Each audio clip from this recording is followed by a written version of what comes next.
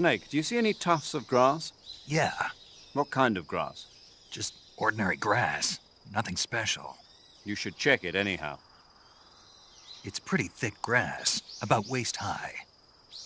If you crawl into the grass, you can advance under cover. When you do, the camera automatically switches to intrusion view. If you want to stand up again, press and hold the crawl button once more. If you press the crawl button briefly, you'll crouch in that spot. This allows you to observe things without blowing your cover. Got it? Yeah, but But what? was that the only reason? What do you mean? You had me check it just so you could tell me that? That's right. Pretty useful, huh?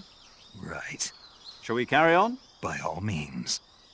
Even when hidden in grass, if you make a noise, your enemies will locate you. When enemies are nearby, move with slight movements of the left stick. That way, you can proceed with minimal disturbance.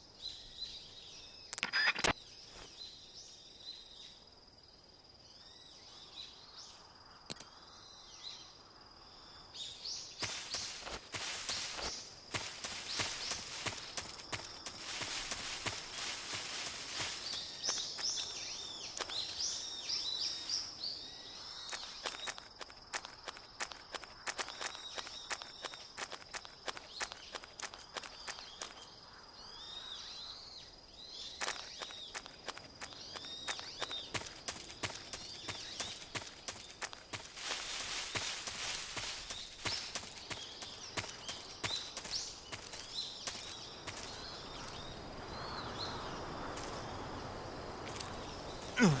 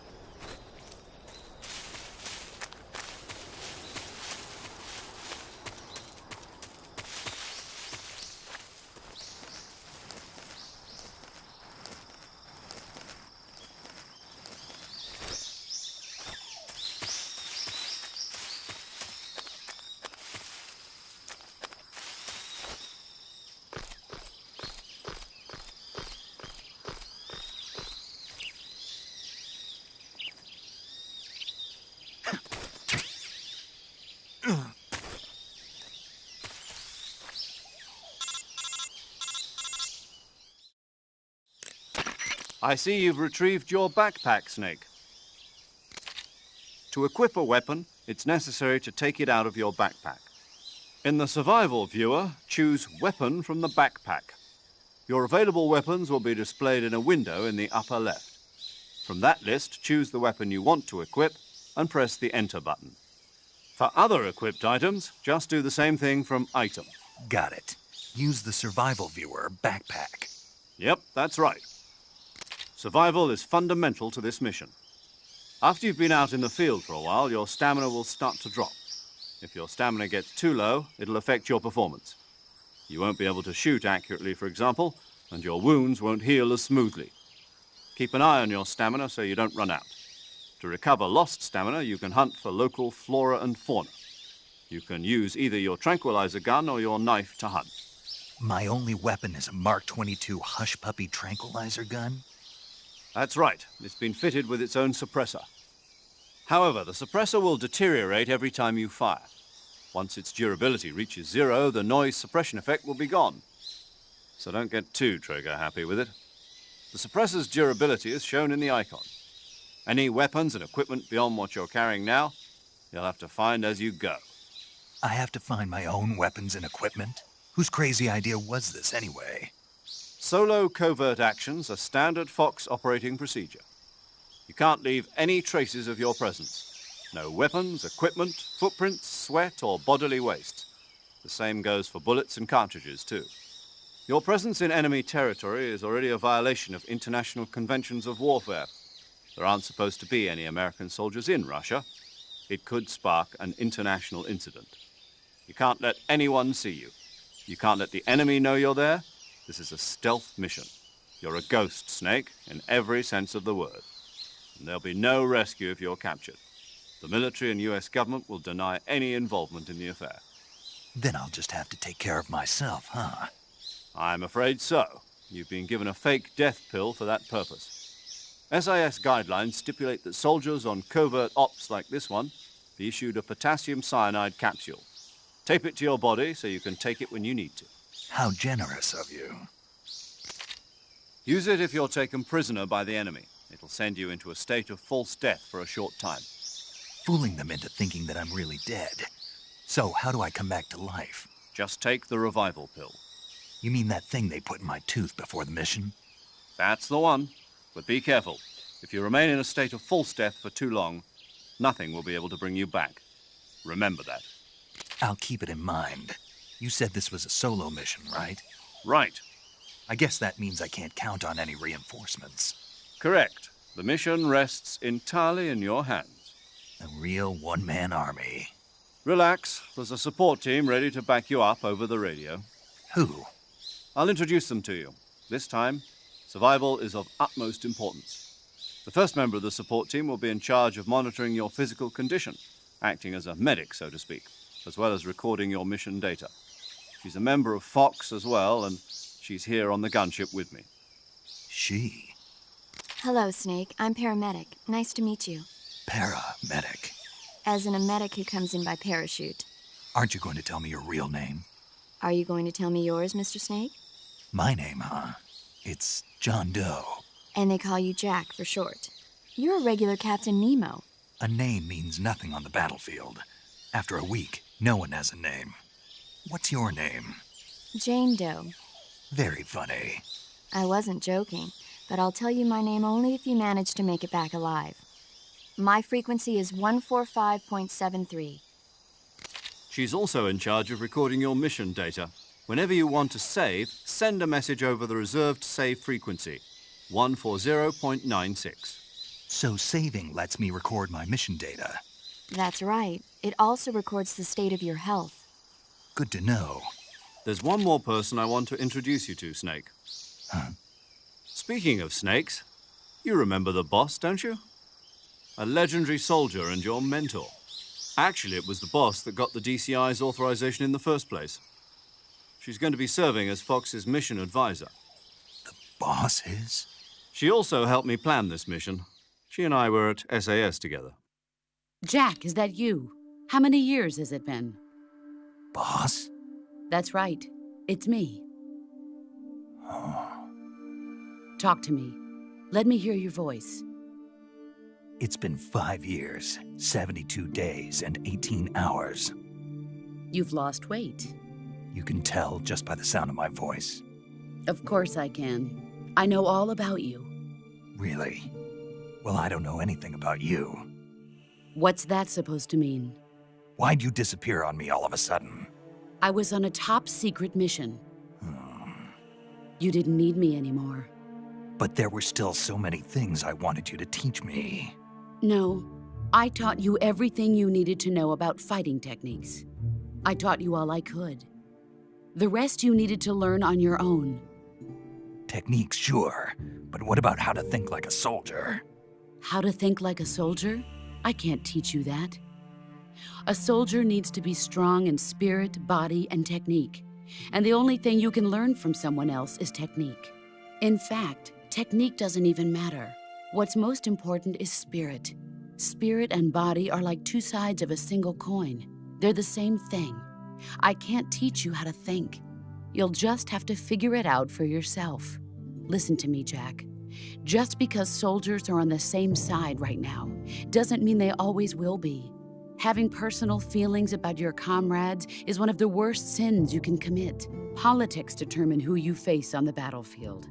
And politics are a living thing. They change along with the times. Yesterday's good might be tomorrow's evil. Is that why you abandoned me? No, it had nothing to do with you. I already told you, Jack.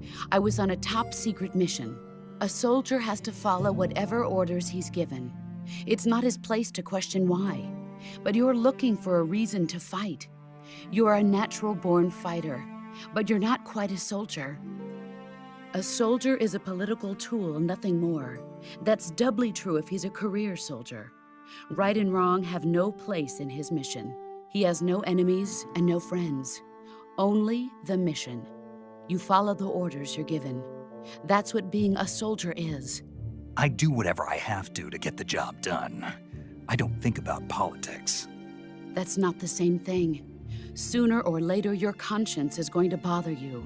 In the end, you have to choose whether you're going to live as a soldier or just another man with a gun. There's a saying in the Orient loyalty to the end. Do you know what it means? Being patriotic. It means devoting yourself to your country. I follow the president and the top brass. I'm ready to die for them if necessary. The president and the top brass won't be there forever. Once their terms are up, others will take their place. I follow the will of the leader, no matter who's in charge. People aren't the ones who dictate the missions. Then who does? The times. People's values change over time, and so do the leaders of a country. So there's no such thing as an enemy in absolute terms. The enemies we fight are only enemies in relative terms, constantly changing with the times. As long as we have loyalty to the end, there's no point in believing in anything, even in those we love. And that's the way a soldier's supposed to think? The only thing we can believe in with absolute certainty is the mission, Jack. All right, but do me a favor. What is it? Call me Snake. Snake. Oh, right. Your code name is Snake. It suits you well. That's right. The legendary unit that the boss put together during World War II was a snake. The Cobra unit, a group of heroes that brought the war to an end and saved the world. As long as you've got a legendary hero backing you up, you'll be fine. Isn't that right, Snake? Yeah, I can't think of anyone else I'd rather have with me. Oh, and one more thing, boss. Yes? It's good to hear your voice again. Same here. After all, who knows if either of us will make it out alive? Snake, you are always best at urban warfare and infiltrating buildings. But this is the jungle. Survival is going to be key. Those CQC techniques I taught you are sure to come in handy. CQC? Close quarters combat, huh? I've been in the Green Berets for the past few years. I'm probably pretty rusty. Not to worry. I'll be here to help you remember. After all, this is your first actual survival mission. I'll be supporting you over the radio. Where are you, boss? Next to the Major? The boss is communicating with us by radio from aboard a Permit class submarine in the Arctic Ocean. My frequency is 141.80. Call me if you need my advice on battle techniques. Gotcha. Your mission is to retrieve Dr. Sokolov. Dr. Sokolov is being held in an abandoned factory located to the north of your current position. Avoid heavy combat and don't let anyone see you. Don't forget that this is a stealth mission. Snake, try to remember some of the basics of CQC.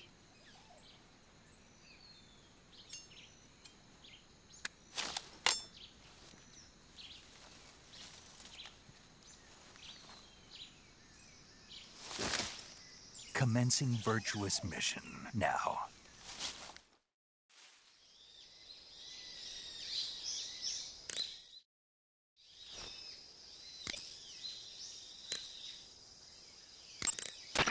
That area is home to the reticulated python. The reticulated python is said to be the longest snake in the world. The biggest ones can grow up to 10 meters in length. Although they're not poisonous, they're still very dangerous, so be careful around them. They have a highly ferocious temperament and they can swallow whole, even large animals like deer and pigs. Their most distinguishing feature is the mesh pattern of their scales. This pattern acts as a highly effective natural camouflage. If you think there might be a reticulated python about, pay close attention to your surroundings. Otherwise, you could get bitten before you even know it's there. It's a huge snake, but you should be able to capture it alive by using the tranquilizer gun. I'll bet if you capture one and throw it at an enemy, it'll give him a good scare. Right. But how do they taste? Huh? Do they taste good? You're actually going to eat one. Why else would I be asking? Cannibal. What was that? Nothing. Let's see what the guide says. Ah, you're in luck. It says they taste pretty good. Good. I can hardly wait. Ugh.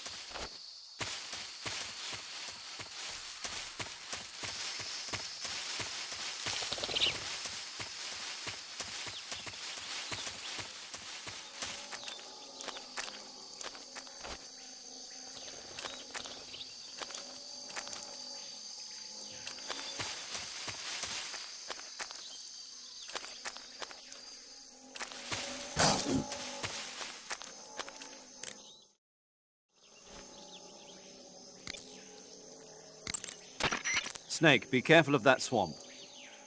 What's dangerous about it? It's a bottomless swamp. A bottomless swamp? Yes. The mud in that swamp is highly viscous. It will stick to your body like tar. It will be impossible for you to swim. If you get swallowed by the bottomless swamp, you won't be able to escape on your own. Once you sink down to about head level, you'll be trapped for good. Make sure you get out before that happens. So, I have to make sure I don't sink too far. Got it. Snake, wait. There's more. Yes. What? Crocodiles. Crocodiles? Yes. Crocodiles. Like the reptile. That's correct. More accurately, they're Indian gavials. What are crocs doing deep in this forest? You'll have to ask Paramedic about that one. Paramedic? Yes. The Indian gavial is a crocodile that originally lived in freshwater regions in India and Nepal. Why are Indian crocodiles way out here? They're captive crocodiles that were brought here for research purposes but escaped and became wild again. Indian gavials are large creatures. Adult males grow to over six meters in length. You'll never catch one alive, even if you use the tranquilizer gun. Got it. So, how do they... Taste? Yes, I did look into that. You know what they always say. Tastes like chicken. Sounds delicious. But be careful when capturing an Indian gavial. Normally they're cowardly creatures, but the ones in the forest there are belligerent. Apparently they attack humans. What do you mean? They weren't the direct subject of any serious research, but some think they may have become violent as a side effect of the atomic research that was conducted nearby.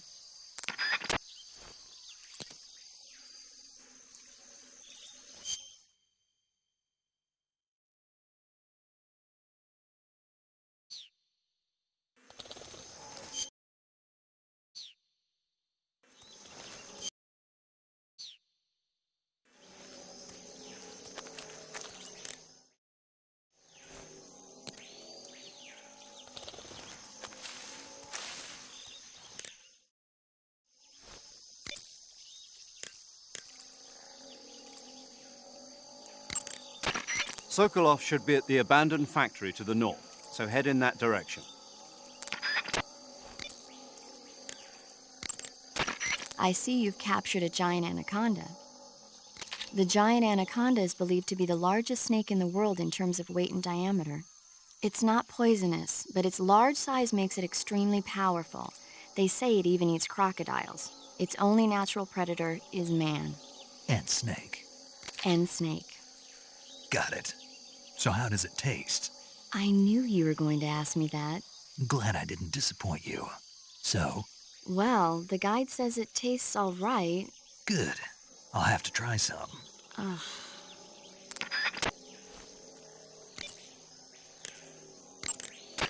Camouflage is an indispensable tool when you're sneaking through the jungle. To use camouflage, first press the Start button to go to the Survival viewer. Then select Camouflage and press the Enter button. Select Uniform to select Battle Fatigues, and Face to select Face Paint. Choose battle fatigues that match the surrounding environment. The most effective camouflage is attained by selecting fatigues that blend in with the environment. Camouflage patterns that stand out in your surroundings will attract attention.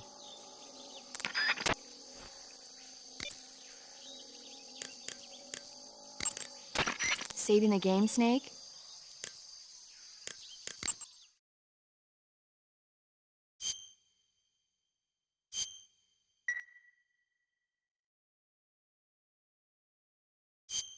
Hey, Snake, you ever heard of Godzilla King of Monsters? No, what is it? It's a movie. You haven't seen it? Nope.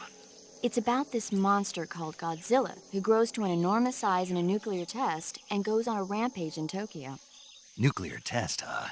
Then the Marshall Islands must be crawling with giant monsters right about now. It's just make believe. Maybe that's why my pants have been so tight lately. Snake, it's a movie, not a report out of Los Alamos. I know. So then what happened?